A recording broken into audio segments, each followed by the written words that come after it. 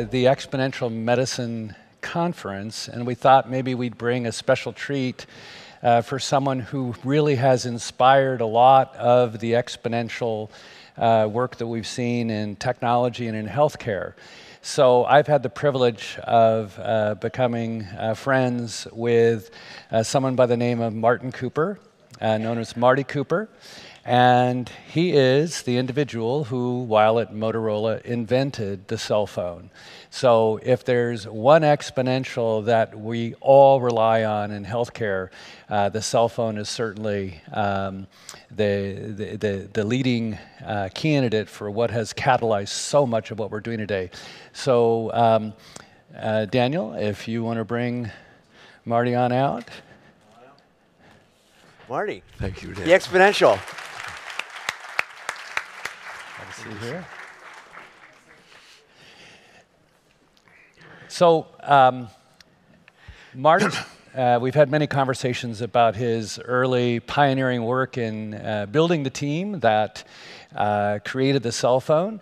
And one of the first things that uh, he thought of as, as he was realizing the dream, and he talks a lot about dreaming as a core part of innovation, um, was what a huge impact the cell phone would have on, on healthcare. So, Marty, I'd love to uh, hear you describe a little bit about some of your early thoughts as you were um, building out the team and building out the product and bringing it, bringing it to scale.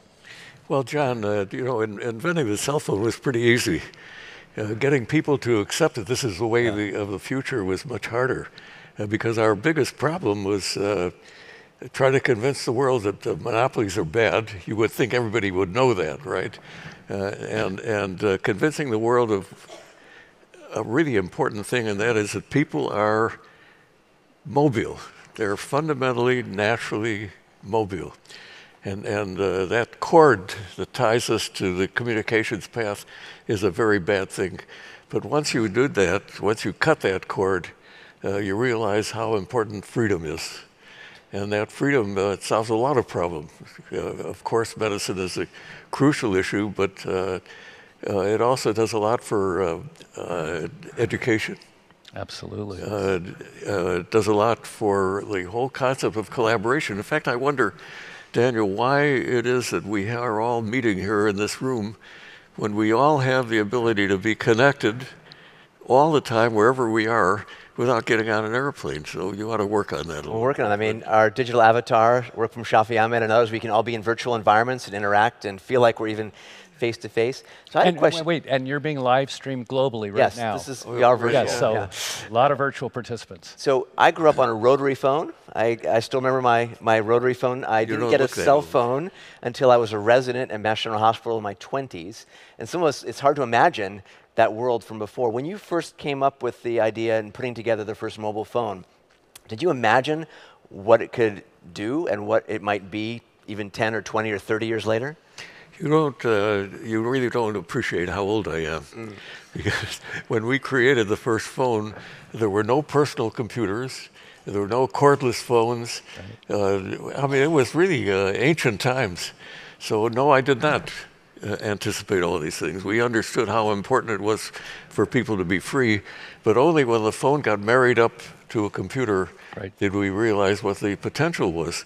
and, and even today, the things that are most important to me in, in the medical area are what are happening uh, not with super smartphones and, and in uh, highly advanced areas, what's going on in places like Mexico and India where people are using feature phones, simple phones with very uh, simple add-ons to do things like remote diagnosis. Absolutely. Uh, and uh, uh, including eyes. Uh, there's a, a, a, test going on in Mexico uh, where people are doing ultrasounds on pregnant women. So uh, those things are the things that really inspire me, that are, that are really changing the world because there are masses of people. The whole issue, what's going on in Africa, I don't know if you're aware of the fact that 1.2 billion people have moved out of poverty in the last 20 years, and the cell phone was a, a, important absolutely uh, uh, issue in that. And I, I just got back from a trip to India not that long ago, And when you refer, refer to healthcare in developing countries and disadvantaged access to healthcare, there are large uh, portions of India and Africa and other parts of the world where there is no healthcare except what they can access on their cell phone. So it's not an adjunct, it is the centerpiece of what access they do have to healthcare in the most rural parts of uh, uh, many of the developing countries in the world. So it, it, you're absolutely right. Profound impact. Yeah, I mean, I think we opened up the whole exponential medicine conference that the phone is really becoming the core diagnostic, therapeutic, information uh, platform. So a question. When you were starting the cell phone project, um, what, what, what was your mindset? And what did you learn in catalyzing this incredible exponential growth in that journey from, I think, something that you have right here that's now in almost everybody's pocket? Yeah, well, we always show it to everybody. You don't appreciate uh, the technology that goes into a cell phone, but that is the, an exact model of the very first phone. And did you have that Alexander Graham Bell moment where you got to make the very first call? Oh, well, my, the uh, only thing I thought about when we made that first call is this thing going to work? you know, because this thing had thousands of, of discrete parts in it. You know, today we have uh, things called integrated circuits that solve those uh, uh problems. No, our uh, challenge at that time was not the technology because we knew about the technology. We've been building two-way radios that were portable, and we realized there were businesses that couldn't operate without. but the uh, challenge was that uh, AT&T, the old AT&T, uh, the, the, monopoly. Before the breakup. Uh, uh, their vision of cellular was car telephones. Could you imagine? You know, for 100 years, we had been trapped with that wire in our offices and homes, and now they were going to trap us in our cars. So uh, we objected to that uh, very seriously. Uh, we objected to the fact that there was a monopoly going to run this thing in the first place. So that was the big challenge. The technology was fun. So you're doing some new projects now. What, what would you like the exponential medicine community and others to know about what you're doing next, and any sort of gleaned lessons in taking something from, you know, from something that looks pretty basic to something that seems magical? Sure. Well, the, biggest problem today is that uh, everybody in this room has access. Uh, there is one person in this room doesn't have a cell phone because there's always an outlier. But uh, uh, everybody in our culture has cell phones. There are millions of people in the United States that don't have access to either cell phones or uh, cell phone service or broadband, and we have to fix that. Uh, and somehow our emphasis is not in that area. We keep talking about 5G uh, everybody here about 5G. Everything you've heard about 5G is wrong. Uh, 5G is not millimeter waves, it's just an incremental improvement.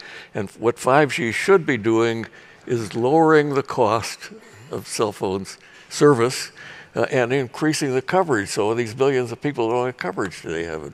So uh, that, that's what I'm working on at the moment. I'm on an FCC advisory council and trying to get the uh, carriers to put more emphasis uh, on uh, getting everybody to have this service that you keep talking about, John and Daniel, uh, and and we're making some progress. Awesome. Closing question. Well, and I, I, just want to key off of what you just said. Uh, tragically, there's uh, a, one of the most underserved areas uh, in the U.S. in terms of cell coverage is the Native American nations, where a lot of remote locations where they can't have access to healthcare because they have to drive miles on the reservation to get a weak signal. Um, so, uh, thanks to Marty now, um, the FCC, uh, with his uh, advisory role, is taking that very seriously and helping bring that coverage um, to every corner of the U.S., including uh, the very first inhabitants of our country, our Native American nations. Yeah. Well, so, well, would you believe that the uh, the ghettos in the big cities have exactly the same problem? So yeah. it's not just the right. uh, early Americans. Right. So soon, cell phone coverage, access it should almost be a basic human right. Absolutely. Uh, and of course, it's part of the becoming the core of all of healthcare and connectivity. And so uh, we need to improve access and um, equity uh, through mobile data uh, and access. Right? So um, so amazing to have you here. Um, we are uh, uh, improvising here, and we have now decided to award uh, Marty our very first Exponential Medicine Maverick Award. So uh, I want to thank you for, uh, for joining us. and uh, Wow. can you hear me now? Um, so uh, um, let's thank Marty uh, for all the work he's done. I mean, it's changed all of our lives and really changed healthcare around the planet. And really honored to have him here. Thank you.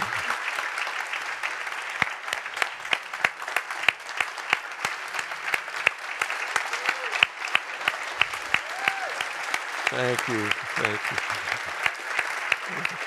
Thank you so much. What an honor. It, I tell you, the most uh, interesting thing is just most disruptive. Yeah, absolutely. It's the nicest compliment I could ever get. Thank you much, everybody. Thank you. Thank you, Marty.